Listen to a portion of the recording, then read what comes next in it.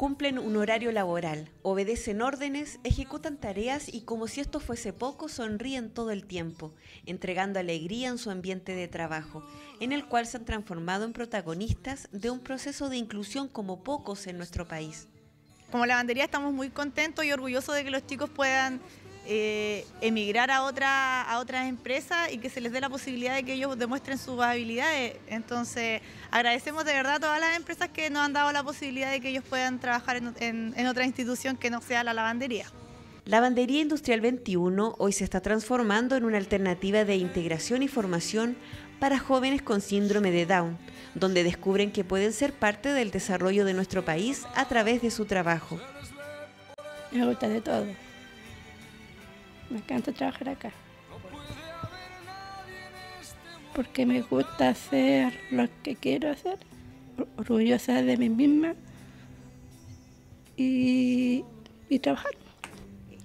Mm. Yo eh, abro la puerta y, y mire la gente. Eh, yo soy un, un el caballero y atento y, amable. Y ahora mi, mi voy a, voy a trabajar lo otro lado a la Universidad Tónica de Concesión.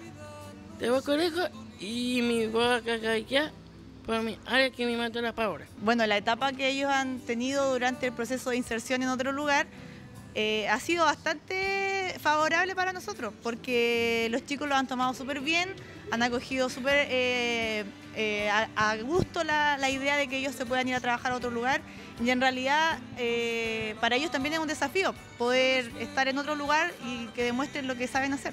Descubrir que son capaces y que pueden integrar un equipo es precisamente lo que hoy están viviendo cuatro jóvenes que ya emigraron de la lavandería industrial 21 para integrarse en otros espacios laborales como Casa Betania, lugar que recibió con los brazos abiertos a Carlos Echeverría y Juan Pastor el Arzobispado de Concepción, que desde mediados de mayo cuenta con el desempeño laboral de Patricio Cartes en portería y Soledad Vega en archivos, y prontamente la Universidad Católica de la Santísima Concepción, que acogerá a Jesús Hermosilla. Ellos son como muy llevados a su idea, entonces yo tengo que ser firme y constante con él para que él pueda trabajar y pueda ser responsable en las labores que se le asignan acá. Eh, sí, me, gusta aquí, me gusta bien poquito. Y me gusta aquí. La casa tenía y el, más, me, el voy a darle a la, para ver a la gente. Y, y yo me hice feliz, me contento.